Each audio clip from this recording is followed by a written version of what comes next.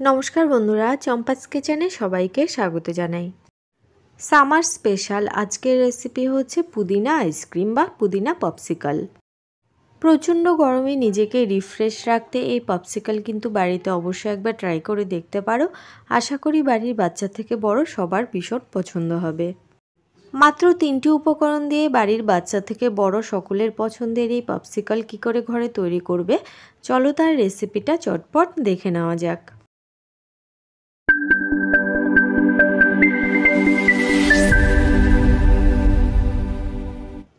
জন্য লাগবে ফ্রেশ পুদিনা পাতা। এখানে আমি হাফ কাপ পুদিনা পাতাকে ভালো করে ধুয়ে জল ঝরিয়ে রেখেছি। এখন এই পুদিনা পাতাগুলোকে একটা বড় মিক্সিং জারের মধ্যে ঢেলে নিচ্ছি, এগুলোকে ব্লেন্ড করে নেব। একই সাথে দিয়ে দিচ্ছি এক কাপ জল। মিক্সিং জারের ঢাকাটা বন্ধ করে দিলাম। এবারে এগুলোর একটা দেখো, এরকম মিহি পেস্ট করে নিয়েছি।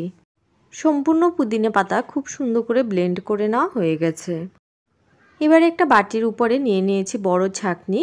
ছাকনির সাহায্যে পুদিনা পাতার রসটাকে ভালো করে ছেঁকে নেব। মিক্সিং জারে বাটিটা ধুয়ে আরও হাফ কাপের মতো জলের মধ্যে দিয়ে দিলাম। এবারে একটা চা চামচের সাহায্যে খুব ভালো করে মিশ্রণটাকে ছেঁকে নিচ্ছি।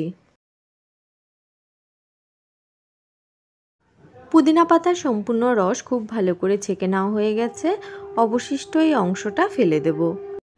দেখো, খুব সুন্দর একটা ডিপ গ্রিন কালারের রস কিন্তু বেরিয়ে এসছে এখন এর মধ্যে পরপর কিছু উপকরণ দেব। সবার প্রথমে দিয়ে দিচ্ছি টু টেবিল স্পুন গুঁড়ো চিনি। ওয়ান ফোর স্পুন বিট লবণ দিলাম আর দিচ্ছি এক টুকরো পাতিলেবুর রস।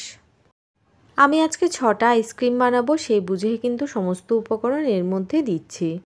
তোমরা কতটা পরিমাণে আইসক্রিম বানাবে, সে বুঝেই কিন্তু সমস্ত উপকরণ এর মধ্যে ব্যবহার করবে। গুঁড়ো চিনি ব্যবহার করার ফলে নুন আর চিনি খুব সহজেই কিন্তু পুদিনার রসের সাথে গুলে গেছে। এবারে এই ধরনের একটা প্লাস্টিকের মোল্ড নিয়ে নিয়েছি। এর মধ্যে জুসটাকে ঢেলে নেব। আমাদের চ্যানেল চম্পাস কিচেনের রেসিপিগুলো যদি তোমাদের ভালো লাগে, তাহলে অবশ্যই চ্যানেলটাকে সাবস্ক্রাইব করে নেবে এবং পাশে থাকা বেল আইকনটাকে প্রেস করে দেবে। এতে করে আমার আপলোড করা নতুন ভিডিওর নোটিফিকেশান সবার আগে তোমার মোবাইলে পৌঁছে যাবে কথা বলতে বলতে এদিকে আইসক্রিম মোল্ডের মধ্যে পুদিনার জুসটা খুব ভালো করে ঢেলে নেওয়া হয়ে গেছে। এবারে কাঠির সমেত এর ঢাকনাটা লাগিয়ে দিচ্ছি।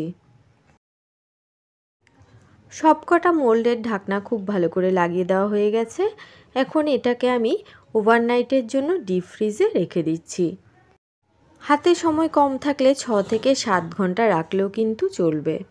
পরদিন ডিপ ফ্রিজ থেকে আইসক্রিমের মোলটা বের করে নিয়েছি। দেখো, আইসক্রিম কিন্তু খুব শক্ত হয়ে জমে আছে।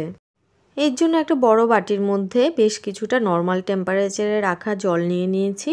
এর মধ্যে আইসক্রিমের মোলটাকে 30 থেকে চল্লিশ সেকেন্ডের জন্য এভাবে ডুবিয়ে রেখে দেব। তবে তোমরা চাইলে রানিং ট্যাপের নিচেও মোলটাকে কিছুক্ষণ ধরে রাখতে পারো।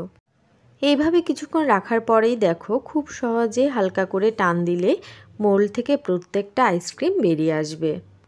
এই আইসক্রিমের মধ্যে কিন্তু কোনো ফুড কালার ইউজ করা হয়নি, তবে তোমরা চাইলে গ্রিন ফুড কালার অবশ্যই ইউজ করতে পারো। আমার মতে ফ্রেশ পুদিনা জুসটা খাওয়াই কিন্তু স্বাস্থ্যের জন্য উপকারী। তো বন্ধুরা, আজকের আমার সহজ সরল ঘরোয়া পদ্ধতিতে পুদিনা পাতা দিয়ে তৈরি করা এই আইসক্রিমের রেসিপিটা কেমন লাগল অবশ্যই কমেন্ট করে জানাবে। ভালো লাগলে লাইক করবে আর তোমার বন্ধুদের সাথে ভিডিওটাকে শেয়ার করতে কিন্তু একদম ভুলবে না।